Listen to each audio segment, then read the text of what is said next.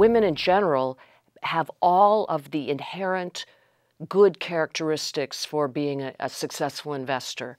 They seek out advice, they do research, they do not generally take excessive risk. These are all things that you'd like to have in somebody managing your money. But then they, they often come with this, this fourth characteristic, which is not helpful, which is they somehow think still that they don't really understand this business and probably wouldn't be good at it. And, and how we get over that, that hesitation on women's part is, is a challenge, and we're still working on it. Smith's on a roll. So I mean, I mean that in the sense that it, Smith's always been strong academically. I think that the, the, the push to truly be relevant globally to women all over the world, and not only to be globally relevant to women, but to be looking at the challenges the world faces and taking them on, you know, men, women, the whole deal. That if they keep, you know, if we all keep working in that direction, this little place in Northampton, Massachusetts has the opportunity to be a powerhouse out there. Uh, I've spent a lot of time since since I left the investment business and moved over to working in the not-for-profit sector initially with Oxfam America, which is a, a very effective global international development group.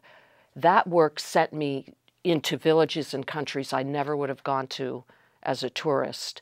And you go to a village and you meet with a group of women who have created a their own savings and loan association, if you will, or they are running a water users association and they're planning to build an irrigation system, whatever, whatever these women are up to, you come into that village and you are literally embraced by these women. And they're moved that you showed up. There are connections to be made between women all over the world. And when those connections happen, it's a powerful thing. And when Smith was founded, the whole point was to get women well educated and out into the world. And now we can just go farther, deeper in doing that. That's what it means to me. Well, if you talk about poverty in the developing world and women in poverty, if you're working on uh, issues of availability of water in a very poor country, it's important to have an irrigation system. It's important to have good water and sanitation systems. But the most important thing is at the, at the starting point to create a water users association and make sure there's a heck of a lot of women on that association because they're the ones who do the most activity uh, with water and have them have the say in the design of that system. But it doesn't start with the giving of a water system. It starts with the empowering of women on that water users association. And that's just one example.